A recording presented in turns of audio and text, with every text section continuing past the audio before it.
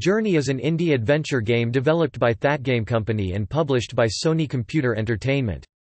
It was released for the PlayStation 3 via PlayStation Network in March 2012 and ported to PlayStation 4 in July 2015. In Journey, the player controls a robed figure in a vast desert, traveling towards a mountain in the distance. Other players on the same journey can be discovered, and two players can meet and assist each other, but they cannot communicate via speech or text and cannot see each other's names until after the game's credits. The only form of communication between the two is a musical chime, which transforms dull pieces of cloth found throughout the levels into vibrant red, affecting the game world and allowing the player to progress through the levels. The developers sought to evoke in the player a sense of smallness and wonder, and to forge an emotional connection between them and the anonymous players they meet along the way. The music, composed by Austin Wintory, dynamically responds to the player's actions, building a single theme to represent the game's emotional arc throughout the story.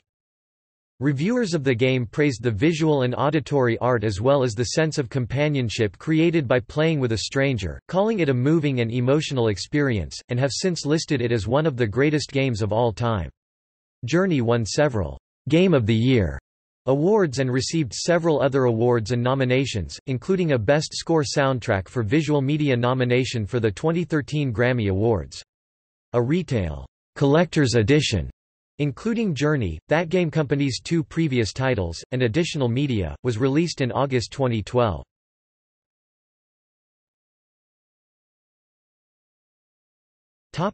Gameplay In Journey, the player takes the role of a robed figure in a desert. After an introductory sequence, the player is shown the robed figure sitting in the sand, with a large mountain in the distance. The path towards this mountain, the ultimate destination of the game, is subdivided into several sections traveled through linearly. The player can walk in the levels, as well as control the camera, which typically follows behind the figure, either with the analog stick or by tilting the motion-sensitive controller. The player can jump with one button, or emit a wordless shout or musical note with another. The length and volume of the shout depends on how the button is pressed, and the note stays in tune with the background music. These controls are presented pictorially in the beginning of the game, at no point outside of the credits and title screen are any words shown or spoken. The robed figure wears a trailing magical scarf which allows the player to briefly fly, doing so uses up the scarf's magical charge, represented visually by glowing runes on the scarf. The scarf's runes are recharged by walking, or a variety of other means. Touching glowing symbols scattered throughout the levels lengthens the initially vestigial scarf, allowing the player to remain airborne longer. Larger strips of cloth are present in the levels and can be transformed from a stiff, dull gray to vibrant red by singing near them. Doing so may have effects on the world such as releasing bits of cloth, forming bridges, or levitating the player. This in turn allows the player to progress in the level by opening doors or allowing them to reach previously inaccessible areas. The robed figure does not have visible arms to manipulate the game world directly. Along the way, the player encounters flying creatures made of cloth, some of which help the player along. In later levels, the player also encounters hostile creatures made of stone, which upon spotting the player rip off parts of the figure's scarf. In each level, the player may come across one other player temporarily connected to their game.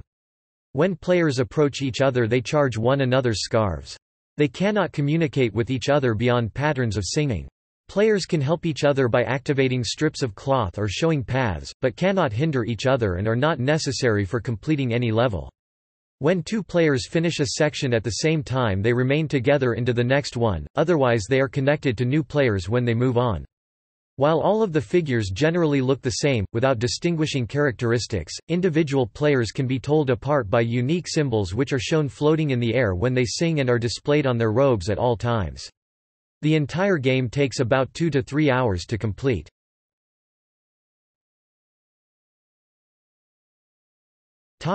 Story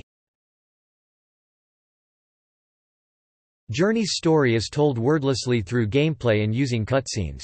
The player's character begins on a sand dune in a seemingly endless desert. In the far distance looms a large, foreboding mountain with a glowing crevice that splits its peak. As the character approaches the mountain, they find remnants of a once thriving civilization, eroded by sand over time. Scattered throughout the ruins at the end of each area are stones at which the traveler rests. These stones give the traveler the vision of meeting a larger, white-robed figure in a circular room, with art on the walls describing the rise and fall of the civilization mirroring the player's journey. The player must also contend with the ancient automatons left over from a war which ended the civilization, and which still roam the city looking for intruders. The player continues to journey into the remains of a once sprawling city at the base of the mountain. Eventually making it safely to the mountain, the traveler begins to climb it, struggling as they enter the colder climates and encounter deep snow and high winds. With the crevice still a fair distance away, the traveler falls and collapses in the snow. Six of the white-robed figures appear before the character and grant the traveler new energy, allowing the player to reach the summit of the mountain and walk into the crevice as the screen fills with white. The player is then shown the game's credits, playing over the ending cinematic scene. This scene shows a shooting star emanating from the crevice and traversing the path the traveler took through the ruins, and shows glimpses of other robed travelers heading towards the mountain. Eventually, the star comes to rest at the sand dune where the game began, and the player is given the option of starting the game again. As the credits end, the player is shown the PlayStation Network IDs of the other travelers who shared part of the trek.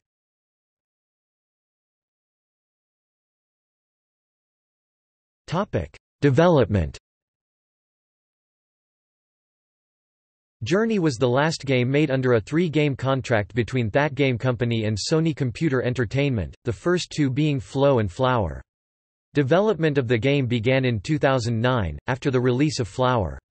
The 18-person development team for Journey was composed mainly of creators of the company's previous games. Co-founder Jenova Chen was the creative director and Nick Clark returned as lead designer. Kellee Santiago, producer of Flow and Flower, did not reprise her duties, concentrating instead on her role as the company's president, and was replaced by Robin Hunicke. When development began, Sony expected the game to be completed in a year, rather than the more than three it finally took. Thatgamecompany always expected needing an extension. According to Hunicke, they believed finishing the game within a year was unrealistic Development ended up taking even longer than anticipated, as the team had difficulties paring down their ideas for the game and maintaining efficient communication. Over the course of development the team grew from 7 to 18 people. At the end of the second year, when Sony's extension had run out, the game did not spark the emotions in the player that the team wanted. Sony agreed to another one-year extension, but development ultimately exceeded even that. The stress of the project led to the feeling there was not enough time or money to complete everything the team wished to, which added to the stress and caused arguments about the design of the game.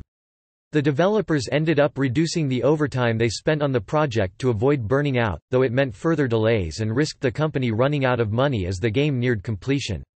In a speech at the 16th annual DICE, Awards in 2013, Chen admitted that the company had indeed been driven to bankruptcy in the final months of development, and that some of the developers had gone unpaid at the time.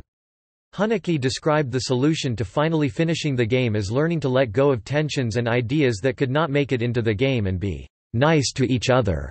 The game is intended to make the player feel small and to give them a sense of awe about their surroundings. The basic idea for the game, as designed by Chen, was to create a game that moved beyond the typical defeat, kill, win mentality of most video games. The team initially created a prototype named Dragon that involved players trying to draw away a large monster from other players, but eventually discarded it after finding it was too easy for players to ignore each other in favor of their own objectives. The developers designed the game like a Japanese garden where they attempted to remove all of the game elements that did not fit with the others, so the emotions they wanted the game to evoke would come through. This minimalism is intended to make the game feel intuitive to the player, so they can explore and feel a sense of wonder without direct instructions. The story arc of the game is designed to explicitly follow Joseph Campbell's monomyth theory of narrative, or hero's journey, as well as to represent the stages of life, so as to enhance the emotional connection of the players as they journey together. In his DICE speech, Chen noted that three of their 25 testers had cried upon completing the game. The multiplayer component of Journey was designed to facilitate cooperation between players without forcing it, and without allowing competition. It is intended to allow the players to feel a connection to other people through exploring with them, rather than talking to them or fighting them.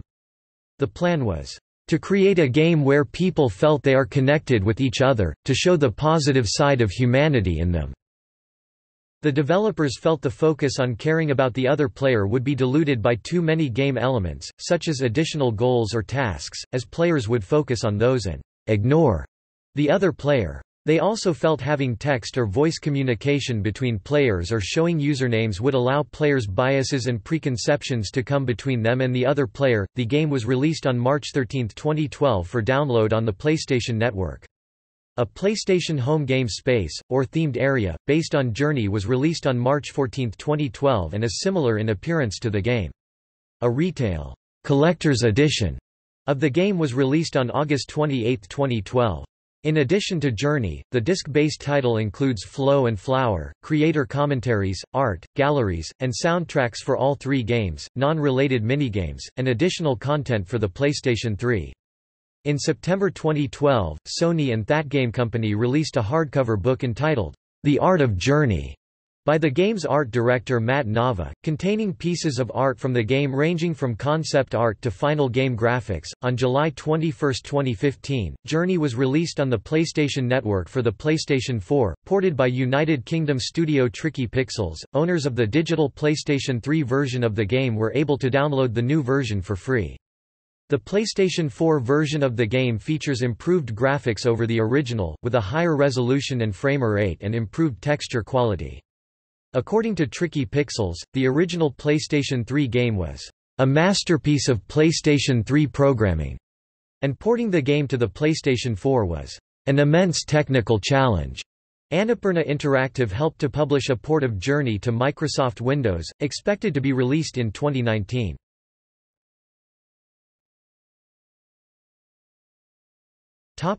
Music The music in Journey was composed and orchestrated by Austin Wintory, who had previously worked with Thatgamecompany on the soundtrack for Flow. Wintory worked closely on the soundtrack with sound designer Steve Johnson, as well as the programming team, so the music would dynamically tie into both the actions of the player and sound effects caused by nearby game objects, and feel as if it were unfolding in real time. Johnson felt having short pieces of music that looped without reacting to the player would be a missed opportunity, and wanted to create music that changed while still containing a composed emotional arc. Jenova Chen met with Wintory at the start of the game's development to describe his vision for the project, and Wintory left the meeting and composed and recorded the main cello theme for the soundtrack that night. He continued to work on the soundtrack for the next three years, experimenting and discarding many ideas. The game's orchestrations were performed by the Skopje Radio Symphonic Orchestra in Macedonia. Unlike many games, where different songs have different themes for each character or area, Wintory chose to base all of the pieces on one theme which stood for the player and their journey, with cello solos especially representing the player. Wintory describes the music as, "...like a big cello concerto where you are the soloist and all the rest of the instruments represent the world around you." Though he describes it as not necessarily orchestral due to the inclusion of electronic aspects.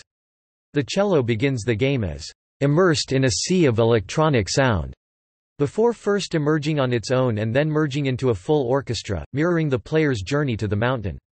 While the game's art style is based on several different cultures, Wintory tried to remove any overt cultural influences from the music to make it as universal and culture-less as possible.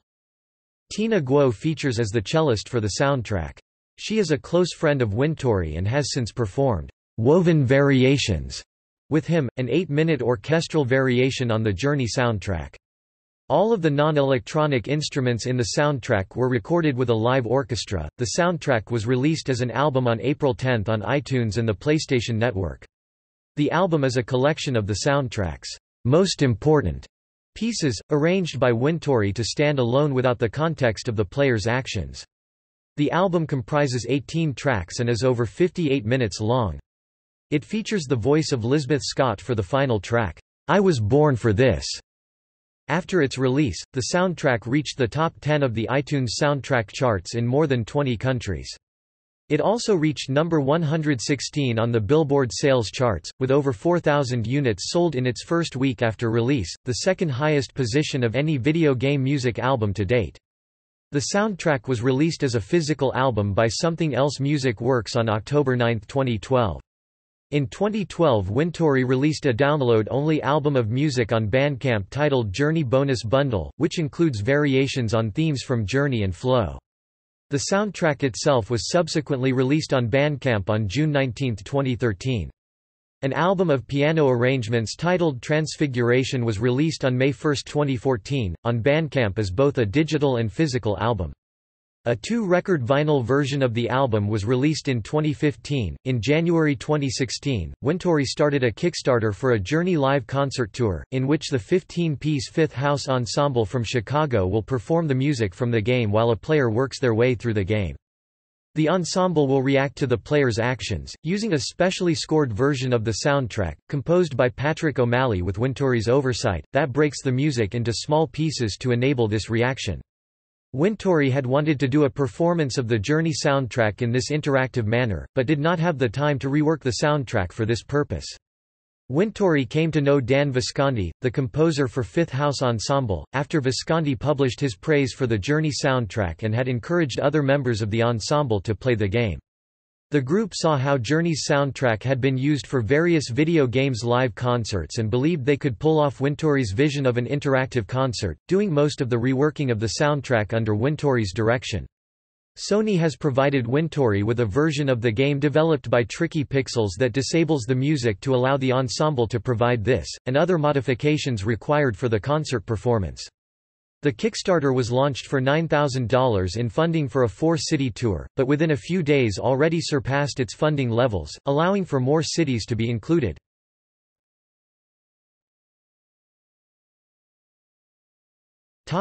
Reception Journey received critical and commercial success worldwide. After its release, it became the fastest-selling game to date on PlayStation Store in both North America and Europe. At the 2011 Electronic Entertainment Expo, prior to release, the game won awards for Best Downloadable Game from OneUp.com, GameSpy, and GameTrailers. After publication, the game was heavily honored at End of the Year awards. At the 16th Annual DICE Awards, formerly known as the Interactive Achievement Awards, Journey won eight awards, the most honors received of the night which includes Game of the Year, Outstanding Innovation in Gaming, Casual Game of the Year. Outstanding Achievement in Game Direction. Outstanding Achievement in Art Direction. Outstanding Achievement in Online Gameplay. Outstanding Achievement in Original Music Composition. And Outstanding Achievement in Sound Design. It was additionally nominated for Downloadable Game of the Year, Outstanding Achievement in Gameplay Engineering, and Outstanding Achievement in Story. Journey was selected as the best game of the year by IGN and GameSpot, among others. The soundtrack was nominated for the Best Score Soundtrack for Visual Media at the 2013 Grammy Awards, the first video game soundtrack to be nominated for that category, though it did not win.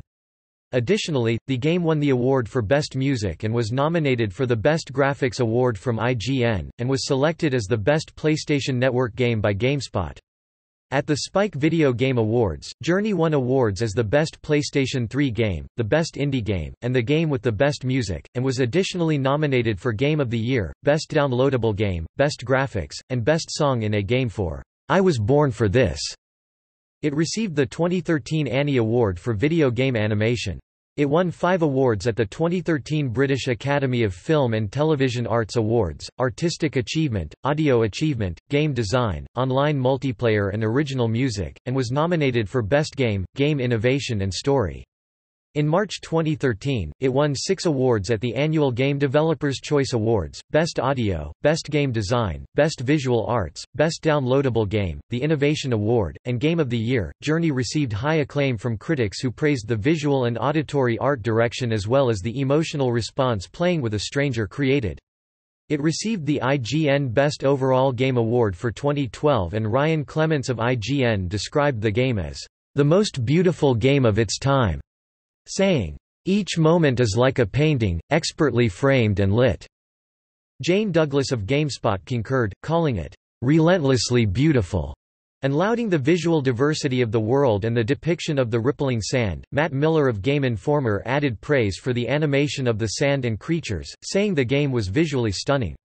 The music was also complimented, with Miller describing it as a breathtaking musical score, and Douglas calling it moving, dynamic music. Reviewers were especially pleased with the emotional experience of playing the game, particularly with other players. Christian Donlan of Eurogamer described it as a non-denominational religious experience that, with the addition of another player, moves beyond metaphors and becomes a pilgrimage to the player. A reviewer writing for Edge magazine said the emotional arc of the game hits with occasionally startling power, while Patrick Shaw from Wired said the game made him feel a wide range of emotions wonder, fear, even sadness. Miller said all three times he played the game, each time, without fail, individual moments managed to give me goosebumps, and those moments have remained on my mind for weeks afterward. Joel Gregory of PlayStation Official Magazine praised the game's story for being open to the player's interpretation, leaving an ambiguity that drew him in. The addition of an unnamed second player was described by Donlan as brilliant and as a master stroke, and Edge said it made for a more absorbing, more atmospheric experience. The few criticisms for the game centered on its length and pacing. Clements noted that not all players would appreciate a game with a deliberate, melancholic pace and short duration, comments echoed by the Edge review. Miller noted the lack of a complex gameplay elements in Journey, and Shaw was disappointed that the game was only a few hours long, though Douglas said the length was perfect. Miller concluded the game could be compared to a musical concert, a well-directed film, or a long-awaited book. While Clements concluded, completing Journey will create memories that last for years.